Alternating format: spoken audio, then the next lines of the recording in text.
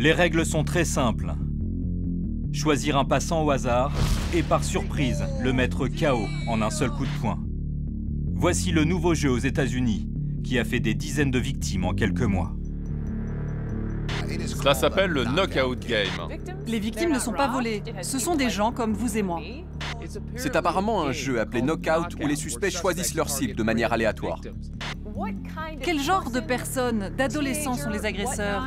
Pourquoi font-ils cela Sur cette vidéo tournée par une caméra de surveillance, un homme marche tranquillement un journal à la main. Il croise un groupe d'adolescents quand l'un d'entre eux le frappe au visage.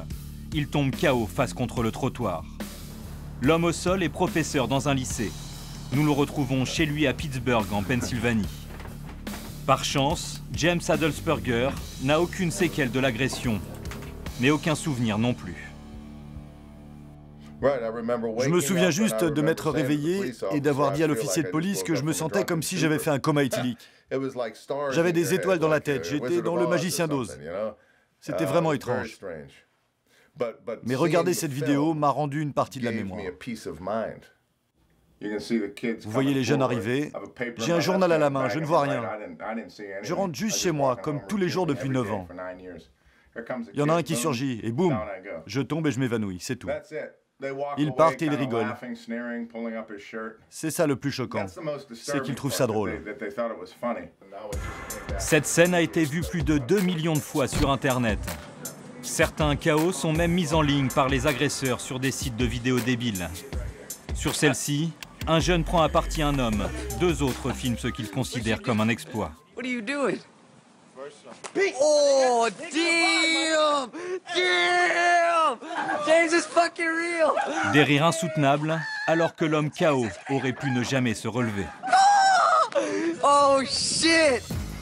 Sur la côte est des États-Unis, ce jeu est devenu mortel. Dans la petite ville de Syracuse, deux personnes sont mortes à quelques mois d'intervalle. Ici, devant cette épicerie, c'est un homme de 51 ans qui a perdu la vie. Il a acheté une bière et un gâteau parce qu'il voulait de la monnaie pour le bus. Il est sorti et quelques minutes plus tard, mon fils est arrivé en courant et a dit à son père que quelqu'un venait d'être frappé juste devant. Après, quand mon fils a essayé de l'aider à se relever, il ne bougeait plus. C'est après que les gens nous ont dit qu'il jouait à un jeu. Le but, c'était de le mettre KO en un coup. Plusieurs adolescents étaient présents au moment de l'agression.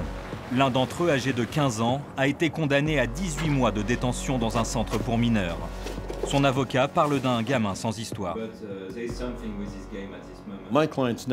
Mon client n'est pas un individu violent.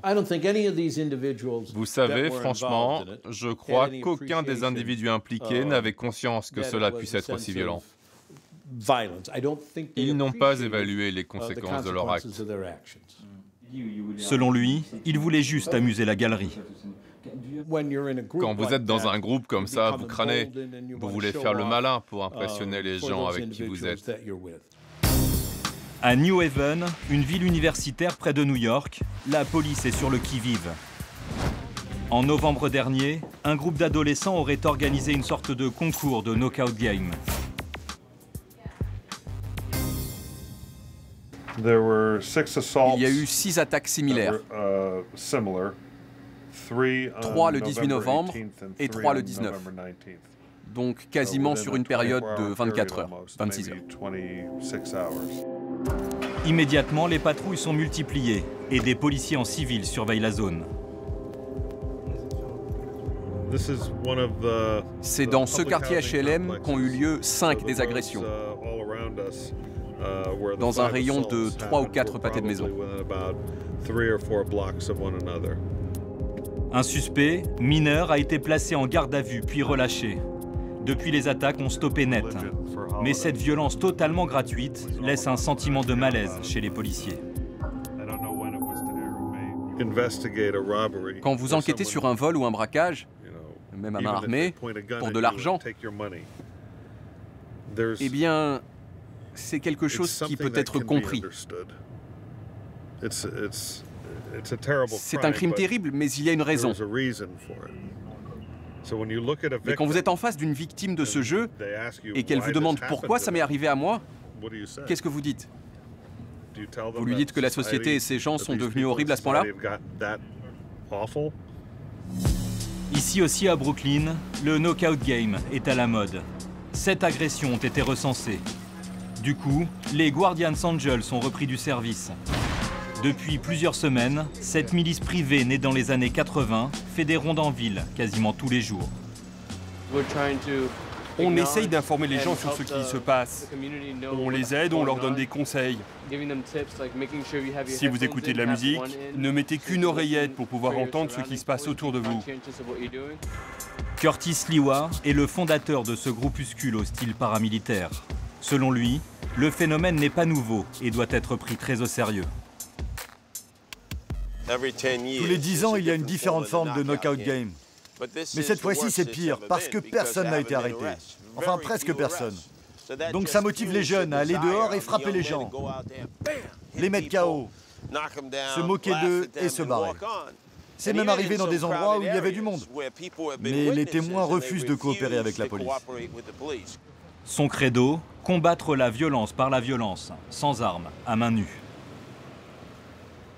Nous, ce qu'on dit, c'est les gars, vous vous prenez pour des durs, vous pensez que c'est un truc de mec de faire ça, mais en fait, c'est un truc de lâche.